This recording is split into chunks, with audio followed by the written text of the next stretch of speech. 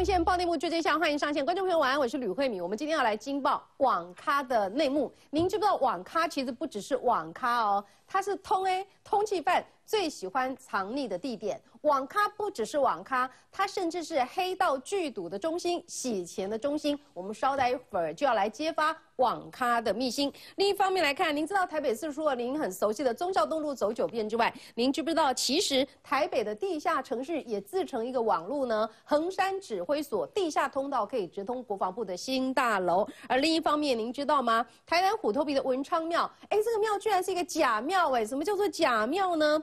它是为了掩护一个。地下通道，您知道在台湾还有哪些神秘的地下世界吗？我们等一下也要来告诉您。先来介绍今天与会来宾，首先介绍是资深媒体王瑞德先生，慧敏好，大家好；江诺博先生，慧敏观众朋友大家好；黄金平先生，慧敏好，大家好；还有这个历史老师陈启鹏老师，慧敏好，大家好；以及风水命理老师谢元锦先生，慧敏好，大家好。好，节目一开始，我们带您来看看台北错综复杂的地下密道。台湾东北角海域因为海沟加上东北季风盛行，发生船只搁浅、触礁意外几率相当高。过去就曾发生过离奇船难。两千年苏澳外海就发生花莲一号离奇失踪，一直到事故发生后的三年，船体才被找到。船上二十一名船员全数失踪。两千零七年也发生沉船意外，二十九位船员下落不明，海面下更被发现有神秘遗迹。从日本与那国岛一直到澎湖海域，海底都被发现有个大古城。传出这座媲美亚特兰提斯的古城有着强大吸力，会放出磁场，吞下海面船只，甚至天空飞机，让船家、飞行员避而远之。公安局人员个个身手矫健，情报工作不只要训练精良，就连办公大楼、公安局本部都是机关重重。阳明山公安局戒备森严，内部从未对外开放，是全台最神秘单位。大门口人车进出看似没什么不同，但其实就在养德大道下，公安局挖了一条秘密通道，只要出现特殊状况，就可以改走地道。从地图上看，地道连接公安局跟对接出入口，等于有两个门，方便进出。密道外观就像是地下道，但地点隐藏在对接高点，车从马路过根本看不到。一千多年前，中国西北曾出现一个骁勇善战的西夏王朝。直到一九七零年，这些被弃置的黄土堆被考古学家意外发现，竟是西夏国王陵寝。但走近看，三号陵正前方却有个长宽近二十尺的盗墓坑。关于黑水城地下深埋西夏王室黄金宝藏的传言，跟着甚嚣尘上，也让这个消失的谜样王朝再添传奇色彩。好，我们来看看这样的一个地下密道。一开始恐怕是为了元首逃生，没错，防空之用。仔细通通，其实好多秘密，很多人不知道。对，没错。那么最主要原因是因为老蒋蒋介石啊，在中国大陆的期间呐，多次遭到暗杀哦，所以他对这个逃生，对不对哈？特别这个等于说注意啊。所以呢，后来来到台湾呢以后，他住的地方啊，比如说我们现在常讲那个慈湖啊，慈湖也有逃生密道。然后呢，包括台北呢，士林官邸呢，也传言有逃生密道。所以呢，很多地方都有逃生密道。那么讲到逃生密道，一定要特别介绍一个地方，就是圆山大饭店。为什么呢？因为呢，其实圆山大饭店现在在圆山的这个这个地址呢，那么它被以前说就是我们台湾台北的龙脉所在。所以这个地方在日本时代是叫做台湾神宫。那这个台湾神宫曾经发生的一件事，因为曾经有飞机坠机啊，坠毁在台湾神宫，把台湾神宫的部分建筑给烧掉。所以后来呢，台湾神宫改建了以后，我们现在看看日本统治台湾时代所留下来的相关的这个照片呐，还是它的这个纪念品里面都有现在圆山大饭店上面的台湾神宫的照片啊。那后来呢，那么台湾这个光复了以后呢，就在这个地方。盖了一个台湾大饭店，那最主要原因是台湾那个那个外国元首来啊，没有像样的地方来招待这些外首外国元首的这个外宾，所以在那个地方盖了民国四十一年盖了台湾大饭店，台湾大饭店就是现在圆山大饭店的前身，所以后来呢，紧接而来经过了几十年的变化了以后，才盖成了圆山大饭店。可问题来了，一直有个传言，圆山大饭店因为出入口只有一条嘛。那如果万一人家敌机来袭啊，什么飞弹来袭啊，什么东西的时候，那怎么办呢？所以呢，圆山大饭店有密道，而且有两条以上的密道，这以前都是传言，后来证实是真的。这两条密道呢，也就是我们现在所看到的相关的这个，等于说一条长达七十八公尺，一条长达八十公尺，一条就往大直方向的北安公园下来，另外一条就往这个建潭公园下来呀。两条下来，尤其是建潭公园这个，我们现在看到那个溜滑梯呀，事实上是因为讲，因为它都是阶梯嘛，你可以发现它其实蛮陡的，对不对？所以呢，阶梯一个不小心会跌倒，那蒋介石怎么能跌倒？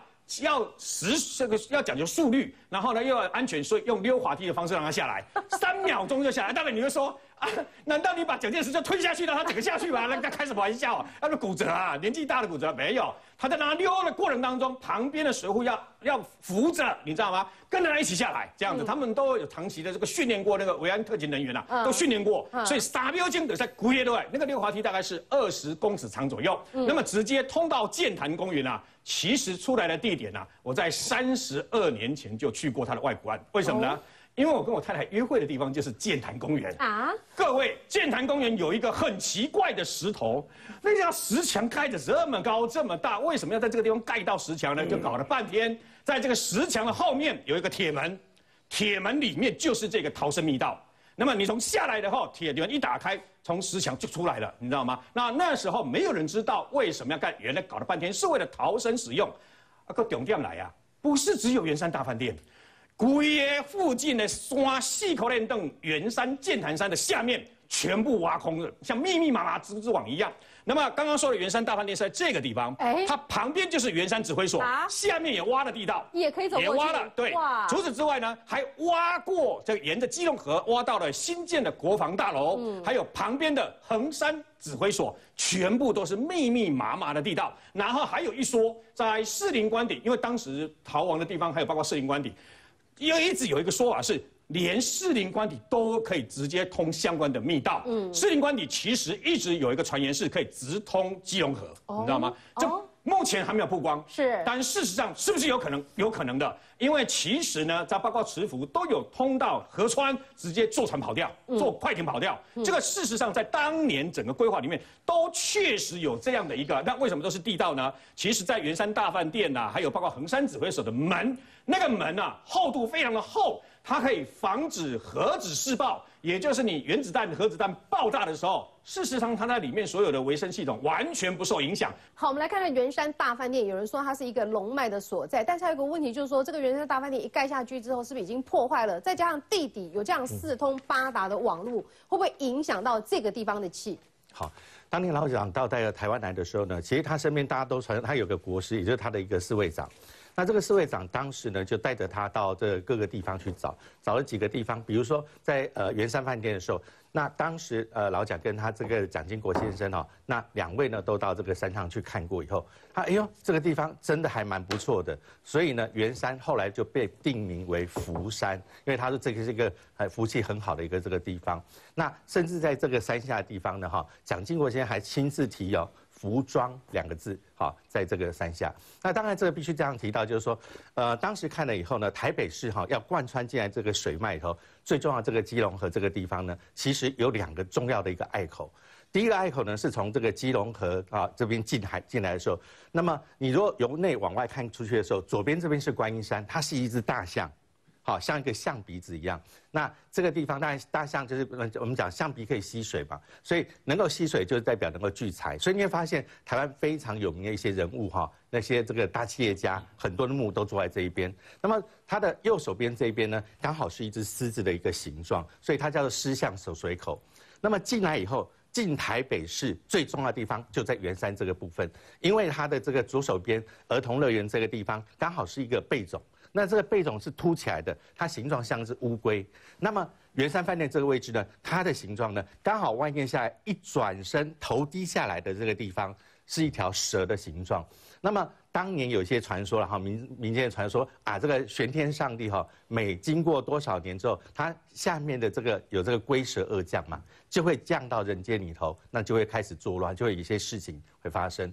所以当时传说中，那么。有说毛先生呢，他是一条蛇，嗯，啊，那这个我们的蒋先生呢，他就是一个这个乌龟的一个这个啊这传说。那当然这样的一个说法里头，也在就是说当时为什么原来本来要撤退到海南岛，可是会后来到台湾来，也就是说，因为他说哈，他你是乌龟嘛，你可以游泳，可是他是蛇啊，所以如果到海南岛的话，他一样会侵略进来。但是到台湾来说，过了这个海，它就过不来了。那一旦到台北市这个重要的这个地方的时候，刚好这边是一边是龟，一边是蛇，守住这个水口，所以啊，这个时候他就想到一个一个方法，第一个，在蛇的头顶上最平的那一块。那么就盖上我们现在的圆山饭店，而在前面蛇的鼻尖的位置，刚好就是我们的太太原五百万人种。刚好压在这个蛇的头上。好，我们再来看看，其实呢，地下密道最密集的莫过于是战区金门了。对，金门的地下坑道，它的密集程度还有复杂、密密麻麻，可以说是世界之最。连南北韩的地下坑道都是学我们的。而且在这个李明博时代，当时还曾经一度要派南韩的军方来金门取经，你就知道我们金门的地下坑道多么有名。而且金门地下坑道都是作为军事用途的，从以前在八二三炮战前后，然后到后来这个。两岸对峙啊，非常的这个严峻严厉的时候呢，当时你看。军事坑道啊，都是在军防部当兵的十万大军的金门官兵啊，尤其是阿兵哥啊，胼手知足，用靠双手万能啊，全部这个一手一手把它挖出来。你想想看，在当时机具都还不发达，所有的这个阿兵哥到那边一天二十四小时分三班制，然后徒手开挖。那里面那个金金门地下坑道几乎都是质地坚硬的花岗岩哦。然后一开始当然都要先用炸药炸。那炸药炸的时候，里面那个线啊，如果你接的一一不小心，然后一不小心误触或点燃的话，是不是就把人给炸死了？所以在那个年代啊，当时戒严的时候呢，金防部啊，金门在那边地下坑道这个挖这个战备坑道的时候，几乎很多的这个官兵受的受伤啊，死的死啊，常常传出很多这样的意外。然后呢，其实你看到金门的这个战地坑道有很多其实是金防部的官兵在那边挖出来，没错，但是绝大部分就会交给一些除了军事用途，他们军事部队戍守之外，大部分都会交给像他们的一些战位这个战斗部队的这个他们。自治村的一个战斗部落，比如说像琼林，那因为金门至少有十二个战斗村，最知名的战斗村就是琼林聚落，它是在金门的这个大金门的这个封腰部，它的挖了那个琼林的这个战备坑坑道一公里长，那超过一公里的这个民房坑道可攻可守，而且曾经在战时啊，它是一个。指挥攻击指挥中心，那一个指挥所。然后呢，村民后来因为挖出来之后，交给村民当地作为他们一个地方自卫的一个据点。那其实讲到战备坑道，最有名的就是我两千年那个两千零一年的时候，当时曾经跟着国防部到这个金门的花岗石医院去采访。金门花岗石医院，它是从一九。七七年，一九七八年的时候就开始新建了，后来新建了两年多之后，一九八零年，就是民国六十九年就完工了。你看，在花岗石要新建了一个医院，不是那么容易。它是全世界唯一藏身在花岗岩当中的医院哦。那有人就想，因为不符合现代的这个医疗需求啊，所以要关掉，而且生意也不好了。但是有人说，是吗？是不是因为里面花岗石医院长期以来？闹鬼的传闻太多了，里面是不是撞阴的事情很多？嗯，聚阴之地，所以慢慢的连当地的人也都谈了会害怕不敢去。比如说最有名就是说，以前这边啊曾经收治很多的伤患，后来这个阿兵哥在里面有的是伤重不治，就在里面身亡了。身亡之后半夜常常看到阿兵哥在里面走来走去的，然后他们说根本那个不是那个不是人，那个是之前在那边治疗已经往生走掉了。嗯，甚至有护士在那个花岗石医院晚上值班的时候呢。他在巡房，巡房的时候走到那个这个病房的时候，看到一个阿兵哥坐在那边，然后问他为什么还没睡，然后他就把左边的脸转过来，左边的一半脸都没了，只剩右边的脸，吓得那个护士第二天就申请调职。然后后来还有护士啊，也是晚上值班的时候，听到那个病房一直打电话来，一直打电话来，那护理站要接电话，接起来之后喂喂喂都没声音，接起来十几通。后来隔天之后，他就问学长啊，问学长跟学姐说，为什么那个 A 零一二号房，为什么他那个病房怎么每天晚上都会打来？然后他就说，你不知道吗？那个病人上个礼拜已经往生了。嗯，他们就吓了一跳。嗯，不会吧？他昨天、前天、今天凌晨都还有打电话，都还接到电话。嗯，甚至在里面啊，还听到那个唱歌达数的？一二三四，唱歌达数那种声音的。嗯，哦，他听到那种吓停啊，就会踢正步在里面那种这个坑道里面啊。都会传出来那种军事的那个操练的声音，他们就觉得奇怪，到底花岗石医院怎么会有这么多的传闻传出来？再来看看另外一个古堡，哇，这是在中部地区念过书的朋友们呢，一定都要深夜探访叶冲的东海古堡。是念过书不代表他们下去过，因为你下去还要有一定的胆量啊。慧敏所说的这个东海古堡啊，东海碉堡呢，其实真正拿以军事上的价，这个这个军事上对它的定义来讲，它算是望高寮的炮堡。那万高寮炮堡呢，它之所以会让人家觉得闻风丧胆的，是因为本身新建的目的，当初日军就是为了要防止美军在二战期间在轰炸的时候，他们必须要有一个这个防空洞能够躲，并且有调兵遣将的一个呃通道，地下通道，所以在里头想必死了不少日军。啊，那这个目前呢，根据已经下去探险过的这些人啊，还有一些文史工作者的调查发现，地下的这个东海东海碉堡的这个四通八达的程度，大概是涵盖了南屯啊，一直到大肚山区。可是因为下面的到底有多少个通道，到底通到了哪边，到底有多长，甚至有人说。它涵盖了整个大台中的地区，也就是说，整个台中盆地的地底下都有这个地下通道，像蚂蚁窝一样啊。那目前下去的，通常都是从我们讲的，就是望高寮十三号塔。结果曾经就有个人拿了二十公尺的绳子下去，下面往下的时候，上面的人说怎么样？怎么样？怎么样？怎么样？声音越来越小，对不对？结果后来听到下面人啊。为什么你知道吗？二十公尺绳子不够，哦，他就垂在中间，嗯，垂在中间。后来他是直接把绳子给解开来了，往下跳，就是利用像壁虎功的这个方式，这样这样这样往下。那还有另外一个人，他是带了五十公尺去，他够了，嗯，所以他们估计这里头至少六层楼深啊。那下去之后所看到的景象更让人大吃一惊，因为呢，它有有的地方是有阶梯的，顺着阶梯往下走之后，你就发现它那个走道啊，越走会越来越窄，不知道为什么。它的走道是越做越窄，越做越窄。然后呢，它每一个地方你转个弯，可能就会有一个隔间。那这隔间里头竟然还有人看到石床，不是山顶洞人在这住过哦。石床是因为日军当时驻扎在这地下碉堡的每一个军营、一个军排，他们可能要在这边睡觉的地方啊。一个石床可以容纳四个人。有一位文史工作者叫做吴金树，他说他有一会儿下去更夸张，那是几十年前下去的。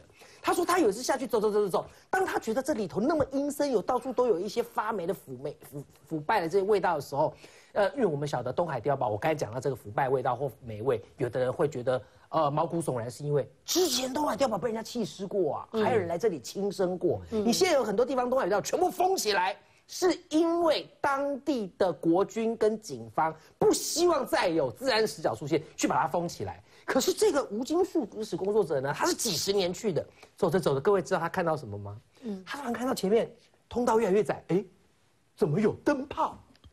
他就觉得奇怪，难道这里头还有人在居住吗？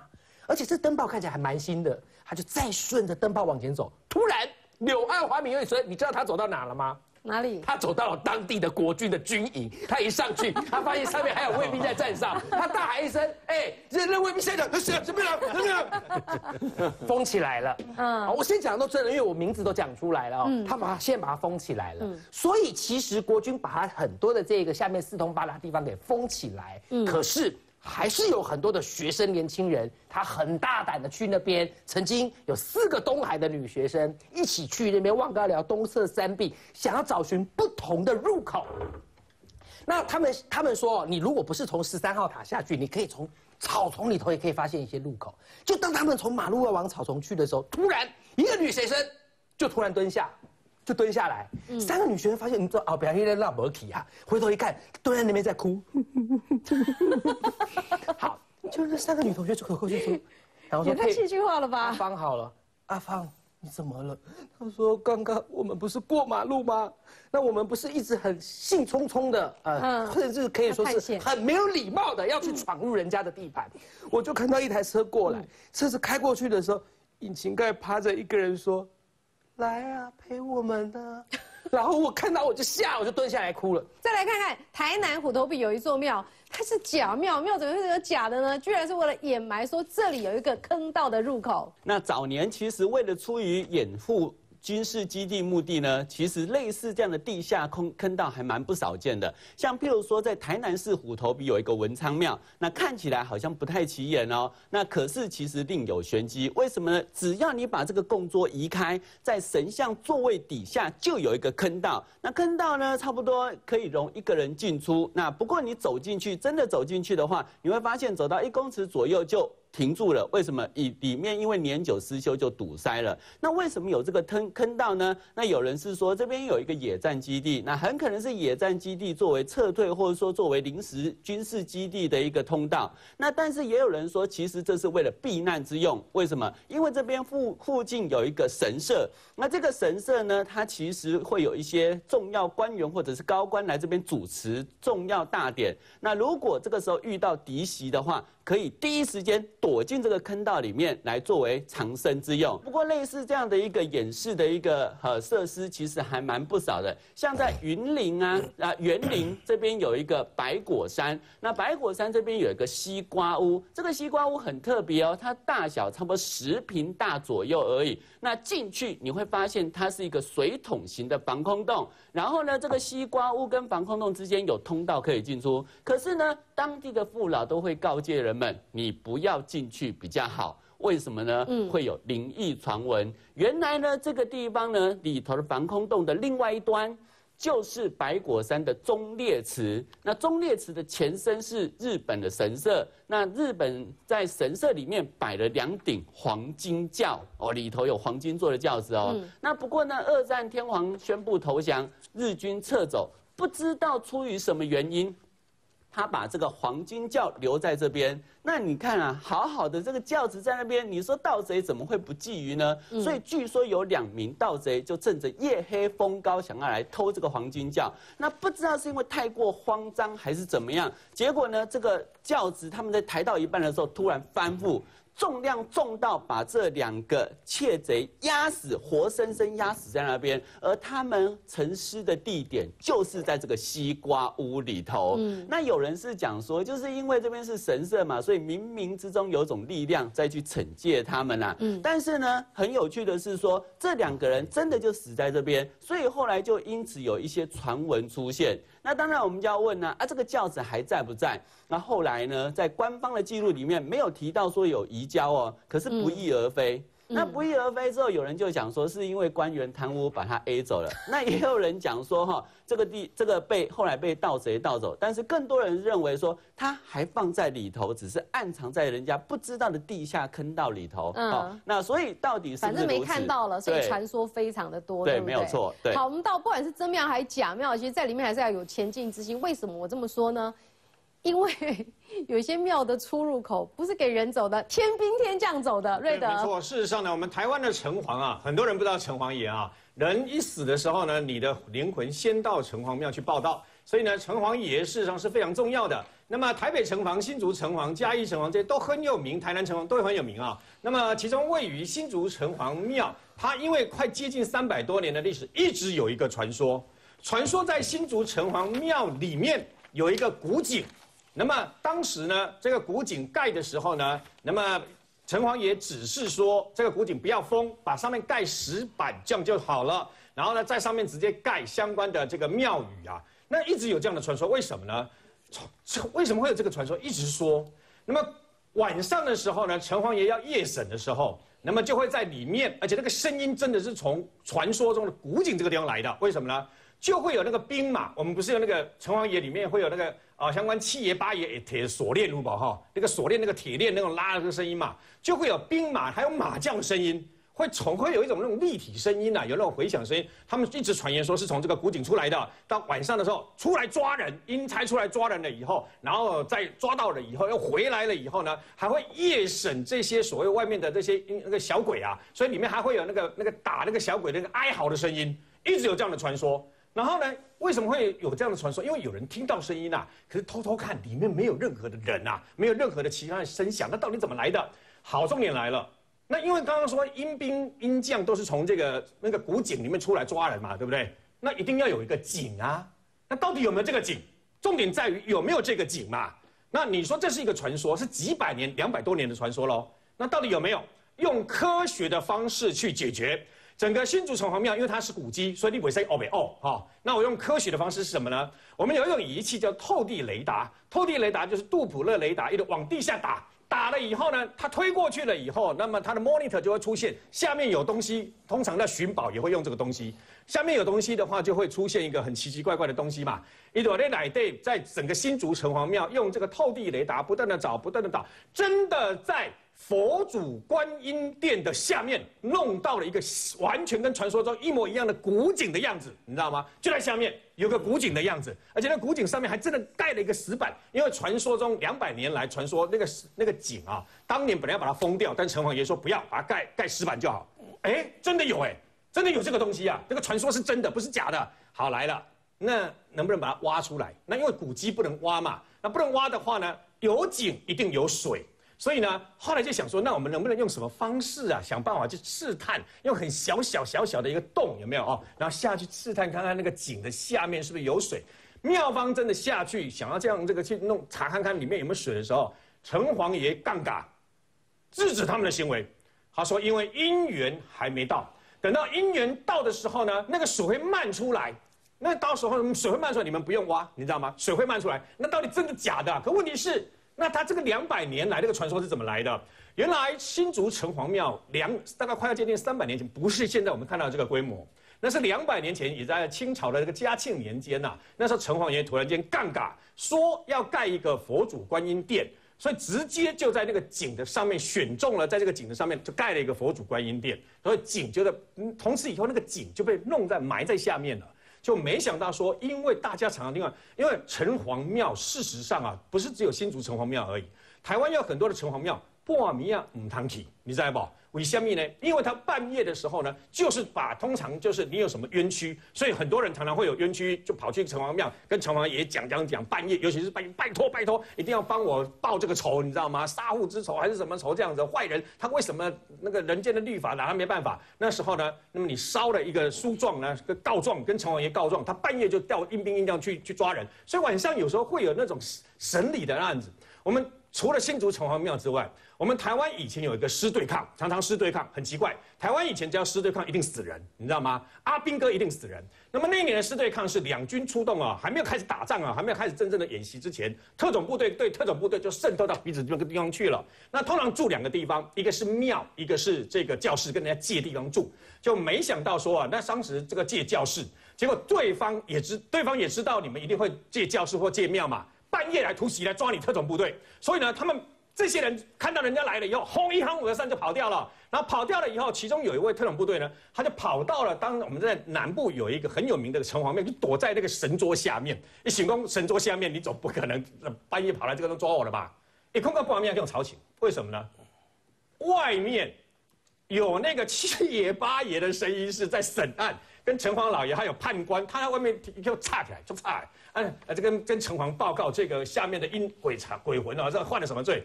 他特别把他打，他心里想说：哇，布瓦米亚怕戏，不哈，半夜还拍戏。他一打开一看，里面整个庙里面都没有人呐，你知道吗？都没有人。他想说奇怪，然后就把他放开了以后，那么城隍爷说：刚刚因为有凡人呐，那么刚刚有凡人窥视，所以我们继续开庭。那他一听到这样，哦，你们拍戏还拍到这个样子，那么认真啊，就把它掀开一看，又没人。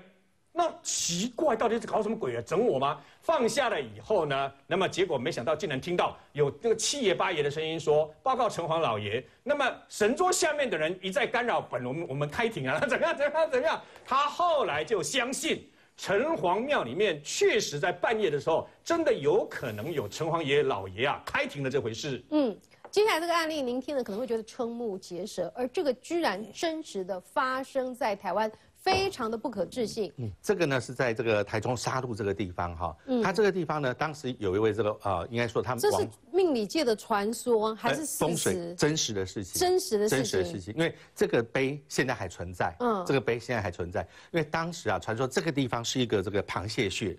那一个螃蟹穴，那当然，哎，这个就是还不错，因为螃蟹哦，通常它这个地方会比较稍微湿一点点，地上可能踩上会有一些泡泡出来。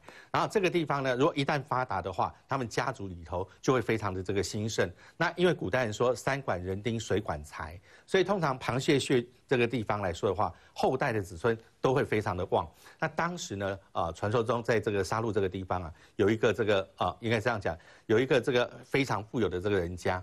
当时呢，因为啊，这个父亲呃，这个母亲也死了一段时间了哈，所以当时就要把它埋葬在这个地方。那要埋葬的时候，那他那请了这个风水师来看的时候，他说这个螃蟹穴哈，第一个呢，旁边不可以有太多，就是不可以点火，用火烧，因为火烧了以后，那当然螃蟹就会死掉啊哈啊，因为螃蟹是水性的啊。第二个呢，旁边不可以见红，所以你不可以用很多什么，比如说哎，这像我们红色的这个枫树啊，可能到了那个时间里头，哎，整片就会变成红色。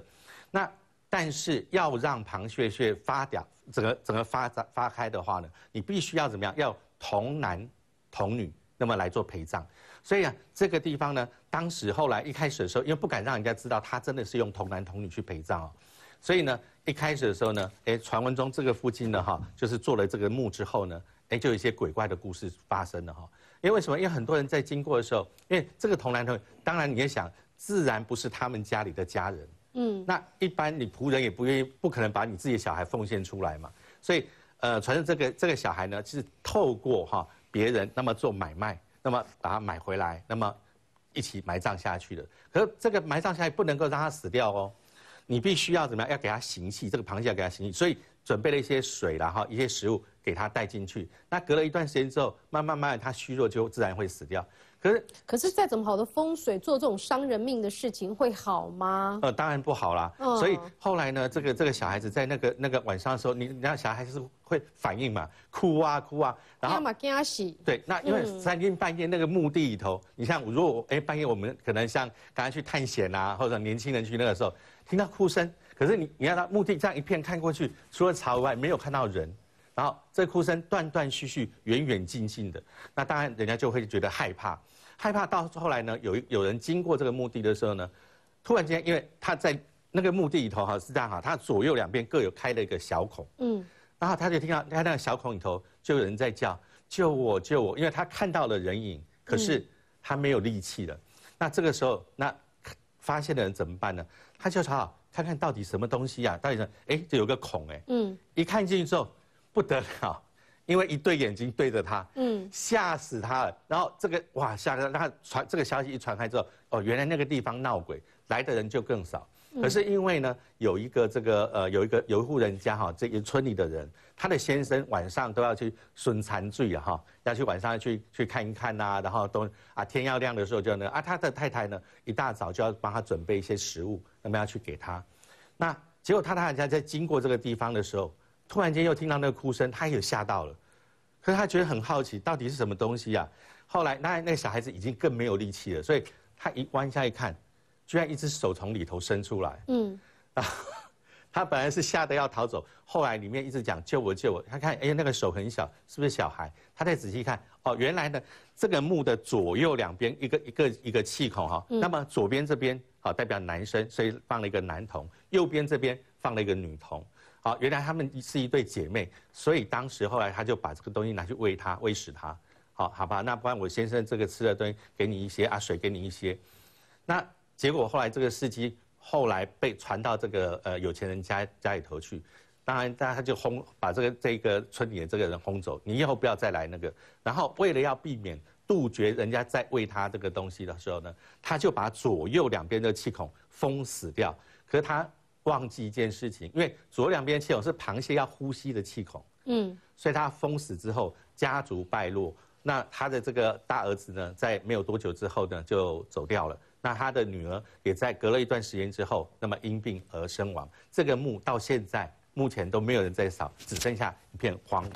再来看看其他国家的地下城，是在其他国家的地下城，可能就让人家听了会觉得毛骨悚然了。因为他们人类都觉得说，你越往地底下，就代表你离阴间越近。哎，所以他们很多的这个国家，很多被发现的地下城，就让人家觉得是否它是通往冥界的一种啊一种媒介啊。首先，我来大家看正中央的这个卡帕多奇亚地下城，它是位在土耳其。这个地下城之所以让人家觉得恐怖，是因为你知道它有多深吗？慧敏？现在，如果你去画面中这个看起来好像美轮美奂，那是在地底上啊。嗯，你有本事你就下去。我告诉你哦，所有带你下去参观的领队都一定会提醒你一件事：绝对不要脱队。你要是脱队，抱歉了，我能不能把你带上来？我实在是没法。嗯，因为你在下面就像迷宫一样。嗯，他现在土耳其政府哦，在卡帕多奇亚地下城这三十六个地下城当中最壮阔、最深的叫凯马克利地下城。现在画面中你所看到就是凯马克利。除了你下去不能脱队，你不可以任意的拍照照相，而跟前面的这个呃失去联系之外，还有一个，它土耳其当地只开放地下四层。哦，那地下四层如果一层以三公尺来算的话，就是我只开放你到地下十二公尺。那为何下面土耳其政府封口不提不开放呢？嗯，他们说在地下第五层、第六层、第七层，可能有些地方有些。这个遗迹让人看了会不舒服，就很多宗教的一些奇奇怪怪的一些遗迹啊。那甚至有人说，在卡帕多奇亚的这个地下层最深的还有到将近有三四十公尺呢，那也就是十几层了。那他们现在这些游客去哦，看起来都好像还不错。我跟各位说，根据历史学家的研究，这个地方难道真的是土耳其通往冥界的一个秘密所在吗？我说真的啦，如果真的是通往冥界的话，那也未必会开放给你看。历史学家有人研究说，其实是当初有很多的基督徒在西元一世纪的时候，为了逃避罗马帝国的迫害，所以哇，你看看从欧洲西欧这边一路逃逃逃到这边，然后在这边。可是问题是，有科学家来研究，他们觉得很不可思议。嗯，因为下面的温度，神了。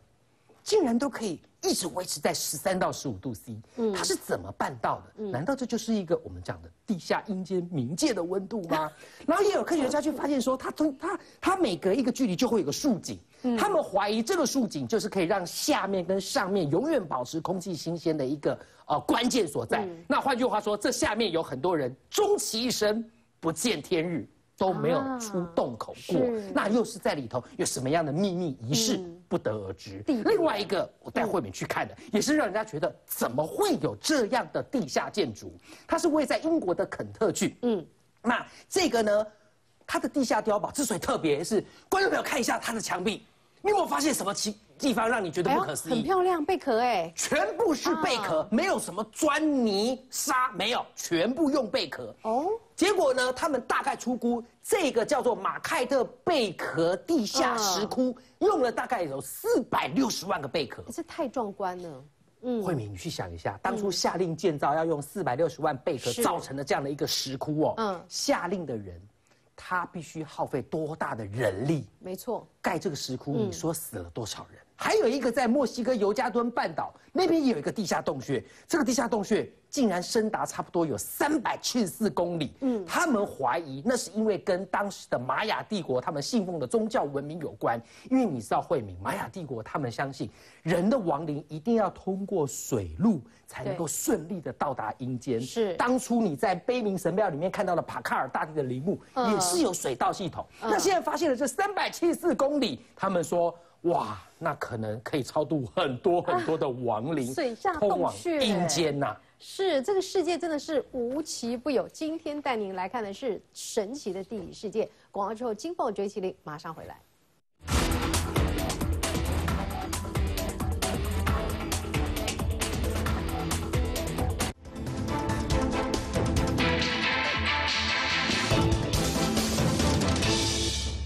轿车才通过路口就撞上同行机车。紧急下车与碰撞声响，让一旁收摊的民众转过头惊吓查看。二十二岁的庄姓男子就是宾士车驾驶，身份确认后随即进行酒测，酒测值零点七五毫克。庄姓驾驶却反而一脸冷静，当场遭到逮捕。看看宾士车 logo 撞断掉在地上，前方玻璃碎了，车头也撞坏。不过开车的驾驶却不是车主。看着满地血迹，机车从碰撞点到停下来的地方位移了至少一百公尺。死者丈夫谴责驾驶酒后开车。说妻子开太阳饼铺打烊下班，大半夜却一直没回家，没想到却是遇上死劫，遭人酒驾夺命。高雄热闹和平商圈传出大火，起火点就在三角窗咖啡店的四楼，乐器行招牌上头落地玻璃破裂，冒出浓烟大火。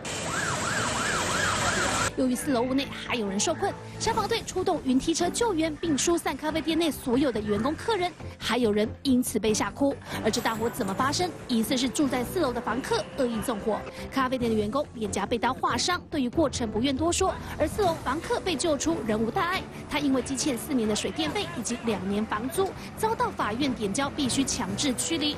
由于债权人是咖啡店，法院人员十点多跟员工陪同查封。十一点多，他冲下楼理论，并持刀。划伤员工，接着又跑回四楼，疑似点火引燃。五名少年骑车行经水门，正在停等红灯，后方四台车尾随在后，立刻包抄拦人，挡住了去路。几十名恶煞冲下车就朝少年猛砍，其中一名少年吓坏了，趁乱骑机车逃逸。一台轿车紧跟不放，就怕少年去报警。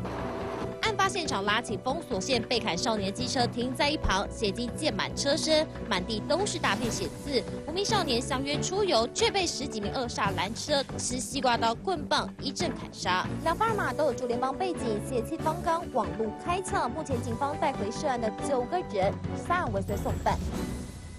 今天《金报追七零》，我们要带您来看看哦。其实现在的年轻人会觉得自由跟呼吸是一样的自然的，好像天生就享有的。只要是有钱有时间，其实要出国呢，这个机票一定就飞出去了。但是您知道吗？过去在戒严时期，其实台湾人是不能随便出国的。您要出国，必须拿到警总的批准令。怎么会是这个样子？那您知道改变的关键，其实跟一个归国学人有关，而这是一起至今没有办法揭秘的悬案。详细的状况，我们请资深社会记者王瑞德来告诉我们。今天我们台湾人民啊，可以自由出国到世界各地去观光洽商。那么事实上，这个自由呢，不是从天而降的福利，而是一个人的牺牲有关系。那么他就是伟大的陈文成教授，他在就读建中。跟就读这个台大的时候呢，表现非常的杰出。后来当年啊，那么建中、台大、美国留学，几乎是台湾的很多的学生必经之途。所以后来他也顺利的来到了美国留学。那么留学在很年轻的时候就取得了博士学位。后来呢，就留在卡内基大学呢，那么当助理教授，表现非常的杰出啊。但是只因为一张支票惹的祸。是什么支票呢？因为呢，在民国七十年，那么他带着太太跟刚这个出生大概满一岁的这个儿子呢，来到了回到从美国回到了台湾。他此行有一个目的，就是巡回在台湾各地呢进行一个演讲，然后呢预定在七月的时候呢，就在七月一号回到了美国，准备新的学期开始。结果呢，他在演讲的所有的过程当中，事实上。警备总部都派人全程收集他演讲的过程跟情资啊。那么也就在七月一号的时候，原本那么陈文成博士应该要拿到警备总部核准的这个出国令，然后呢就准备返回美国去了。可是他一直没有拿到这个批准令，所以后来他透过了一些管道询问。并且要求警备总部呢要批准，否则的话呢，他要这个透过美国的这个学校呢，那么把这件事情啊诉诸于国际。那么后来呀，警备总部就在七月二号的那一天，也就是民国七十年七月二号的一大早。那么来到陈文成的这个家里面，当时陈文成是投宿在自己的这个亲友的家里面呢。那么警备总部派了人车来把陈文成博士给接走，当然也出示了那一张所谓的陈文成博士从美国寄来署名给这个美丽岛杂志社的捐款的相关的影印本。结果呢，根据警备总部的说法，侦讯到了下午六点，那么当时呢还。用了两次餐啊，吃了两次便当。那么到六点的时候呢，重新制作笔录完毕了以后，就把整个笔录呢，那么拿给陈文成重新再看过一遍，有没有意见？也经过上级长官的这个指示呢，那么看看哪里需要增补啊。所以后来在八点多的时候，询问陈文成需不需要派人车再把他给送回去。等到隔天早上七月三号早上。清晨大概快接近七点左右，那么有一位习惯到台湾大学去这个散步啊，去那个地方哦，找个早安晨跑的一个民众，他在经过台湾大学的这个图书馆的时候呢，发现有一个男的倒倒在这个图书馆那边，然后呢，鞋子呢，事实上鞋子这个两双鞋子就在他的陈尸处的旁边，吓了一大跳。以后立刻跟台大驻卫警报告，也立刻通知了一九跟一一零啊。当时大安分局的员警呢、刑警呢，赶快赶到现场。后来发现死者就是昨天被警备总部约谈的陈文成。那么，因为他前一天被警备总部约谈，所以呢，后来隔天就陈尸在这个地方没有回家。那到底是谁干的？那么当时呢，在国际人权团体里面呢，直接点名就是警备总部的政治追杀。所以呢，后来呢，包括这个杨日松法医等等国内的几名法医，那么也包括陈文成所任职的美国卡内基大学等等。那么事实上呢，他们有一位当时的病理法医非常闻名的魏契博士，魏契博士就是替美国总统。遭暗杀的甘乃迪总统呢，验尸的那一位法医啊，那么也来到了台湾，一起参加他整个验尸跟解剖的过程。他们发现陈文成博士他的背部事实上呢有两个痕迹啊，这两个痕迹，那么显然是在生前受到撞击，也就是说，他最大的可能是从台大的图书馆的这个五楼，因为他旁边那个。图书馆外面呢有一个安全梯呀，太平梯，所以最有大可能是从那边坠落的时候呢，背部被这个等于说突出物给撞到。后来根据这两个痕迹呢，去这个现场进行描绘了以后，发现，在二楼有一个突出的一个点啊，突出了一块，那么事实上跟陈文成自己本身的这个痕迹是吻合的，也就是陈文成确实是从高处坠落的时候，那么被这个东西弄到。然后呢，他的肋骨断了很多根啊，那么甚至于他的断骨还刺进了他的肺部，最后因为这样造成包括内出血而死亡。而陈文成事实上呢，他在坠落的那一刹那，他还曾经这个挣扎了五分钟以后才断气啊。我们来看看好好的一个归国学人，怎么会沉尸在台大的校园里面？警总企图把全案导向畏罪轻生，甚至毁灭他的人格，说是跟婚外情有关系，引发各界哗然。究竟凶手是谁？瑞德，警备总部高层竟然有人故意向媒体释放出一个讯息，说有媒体有这个所谓的目击者曾经发现有一男一女，那么来。到了这个台大图书馆的这个太平梯走上去，那么就在这个时候呢，还故意释放说：“哎呦，陈文成回到台湾了以后呢，曾经独自一人来到垦丁去旅游了四天，怀疑是否为情杀。那么事实上呢，是否为情杀，是我为婚外情这个事情一讲出来了以后，更使陈文成的家人没办法接受，更让很多当时从事于党外民主运动的人觉得你。”如果是你这个杀人的，你还要把陈文成给污名化，说他是因为婚外情，所以呢他畏罪或是殉情，太过可恶了。而警备总部呢，受到来自于国内外的这个，尤其是国际人权团体的指责，那么还振振有词出来澄清说，啊，我们有把他录音，然后呢，我们还有把这个陈文成的博士呢送回家，只是换了一个错误，没把他送回他的家门呐。那更离奇的是。陈文成曾经来到了一个邓姓的这个哦教授他的家里面，喝了一点小酒，写了一封英文信。这个英文信到哪里去了？他英文信是谁拿走了？而更离谱的是，当时侦办这么一起国际瞩目的重大案件，结果当时负责侦讯的这些警备总部的相关的各级的长官，竟然没有一个人接受做笔录侦讯的过程。陈文成在侦讯过程当中，不是有制作笔录吗？不是有录音吗？就没想到他的录音档跟他的笔录竟然不翼而飞不见了，不见了也就算了。那么事实上，他的承办人呢，后来移民到了美国，因为外界把整个矛头指向警备总部，他还在美国接受媒体讯问的时候呢，他还意有所指的讲了一件事。说当时陈文成那么侦讯的录音带，事实上曾经在当年的国民党的革命实践研究院当众放过，也就是说，其实这个录音带是有 copy 的背档。